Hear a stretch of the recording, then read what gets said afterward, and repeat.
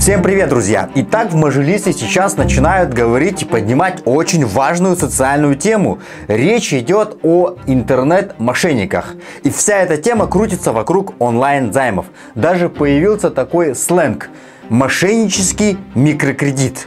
Вот, а сейчас они считают, что это главная проблема, которая подлежит обсуждению и тщательному изучению. Для тех, кто не в курсе и для тех, кто недавно подписался на наш канал, объясню, что такое микрокредит. Это онлайн-займ, который выдается гражданину либо без участия гражданина на конский процент не банком, а какой-нибудь организации, типа товарища с ограниченной ответственностью. Кредит берется достаточно легко и оформляется за 5 минут.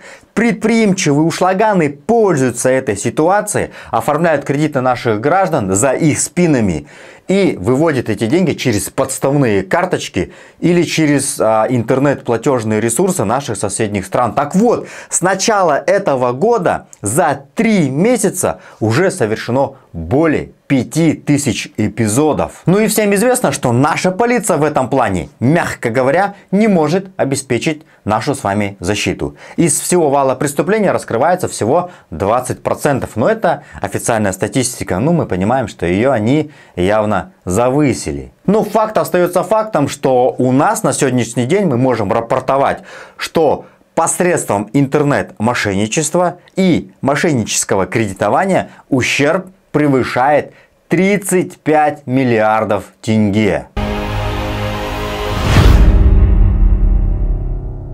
Недавно также изучая депутатский запрос партии Аманат по этому вопросу, а, вычитал, что оказывается спрос на онлайн-кредитование у нашего населения вырос примерно в два раза, а микрофинансовых организаций у нас в стране работает 239 организаций.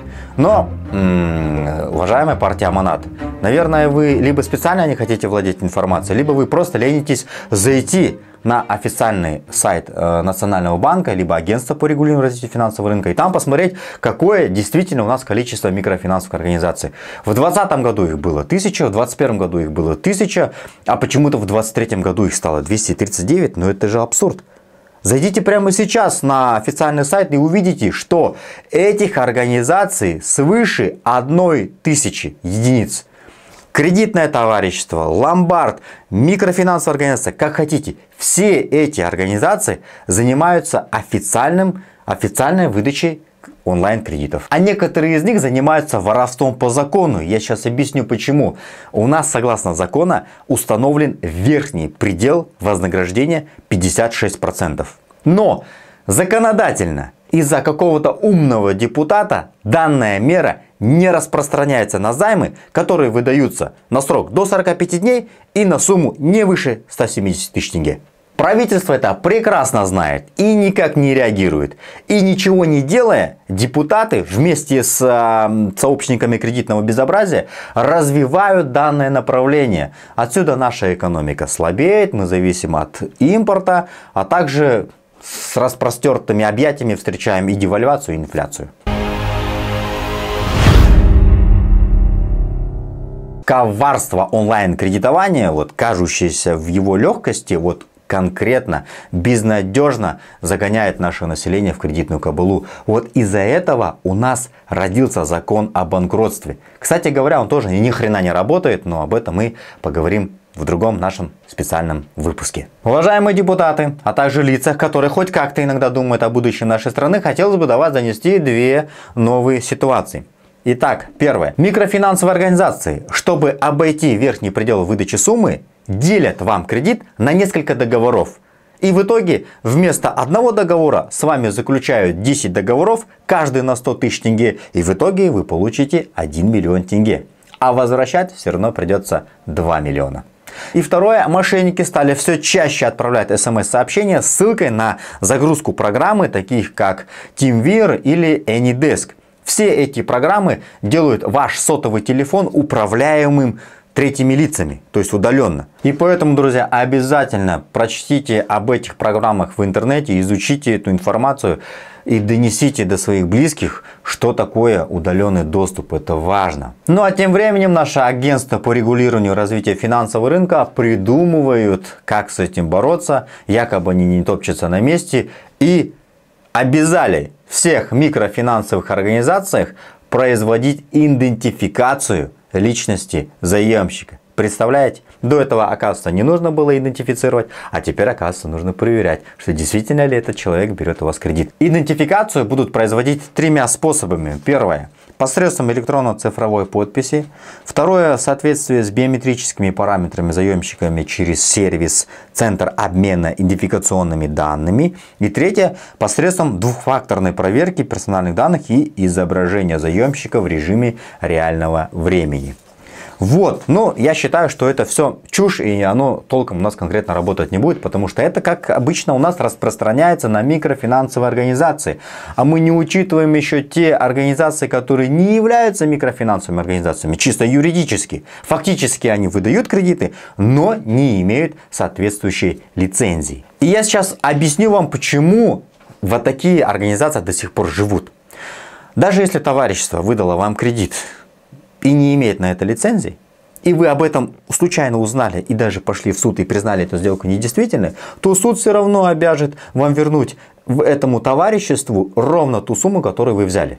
Да, без процентов, но придется вернуть именно ту сумму, которую вы взяли. Иначе это будет как бы расцениваться необоснованным обогащением. Поэтому такие организации, они живут до сих пор. Вот, к примеру, если ТОшка сейчас возьмет, не имея лицензии, 100 миллионов тенге и раздаст нашему населению, то лишь малая часть, те, которые об этом случайно узнают, либо посмотрят этот видеоролик, среагируют и подадут в суд на признание данной сделки недействительной.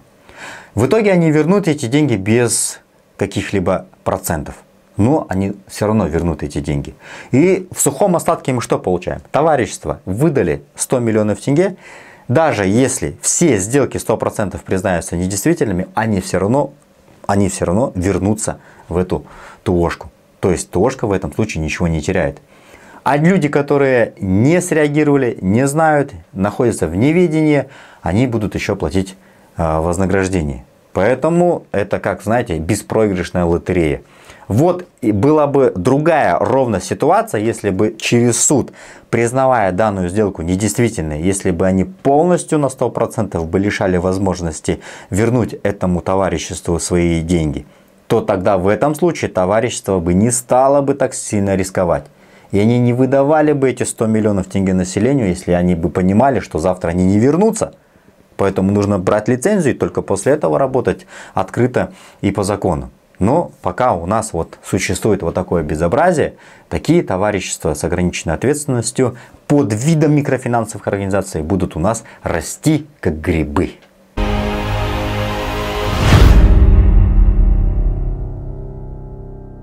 Ну и в конце, друзья, лайфхак. Господин Абдрахманов, раз вы даете официальный ответ Мажилис, я считаю, что о данном ответе должно знать наше население. Итак, я буду читать вкратце именно те важные вещи, которые э, нужно вам знать. Иначе я думаю, что если читать полностью ответ, у моих зрителей пойдет с ушей кровь. А я хочу сделать наш, наш выпуск максимально понятным, и чтобы вы извлекали только полезную и четкую информацию. Итак, господин Абдрахманов, будучи исполняющим обязанности председателя агентства, пишет, что для снижения рисков и в целях защиты граждан от фиктивных микрокредитов на микрофинансовые организации распространяется требование по приостановлению начисления вознаграждения, прекращению претензионной исковой работы – а также списанию задолженности при наличии решения суда, в котором будет э, отражено, что этот кредит заемщиком не брался. Вот такие меры агентство сейчас реализует. Ну давайте посмотрим на эффективность данной работы. С 2022 года агентство поступило 158 обращений по вопросам оформления третьими лицами фиктивных микрокредитов. Агентством по всем обращениям были назначены документальная проверка, но это все вода, вода, вода и все. Что было сделано в итоге? 9 микрофинансовых организаций были применены какие-то меры ограничительного воздействия.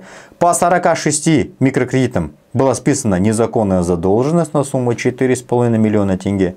И по 23 микрокредитам была остановлена претензионно-исковая работа до получения решения, которое подтверждает факт неполучения клиентом микрокредита и завершения расследования. На самом деле э, хлопать нужно не в ладоши, а их по лицу. Потому что я в самом начале сказал, что за три месяца совершено более 5000 эпизодов. Ущерб составил более 35 миллиардов тенге. А списали вы всего 46 кредитов на сумму 4,5 миллиона тенге. Где результаты? Вы считаете и вы удовлетворены вот, этим, вот этой мерой, вот этой работой? 5000 микрокредитов оформлены мошенническим путем, а списываете вы всего 46, это же это капля в море. И э, я считаю, что на данный момент вам нужно уже превзойти э, тот предыдущий опыт негативный. Для того, чтобы агентство не провалило свою работу, здесь нужно две вещи.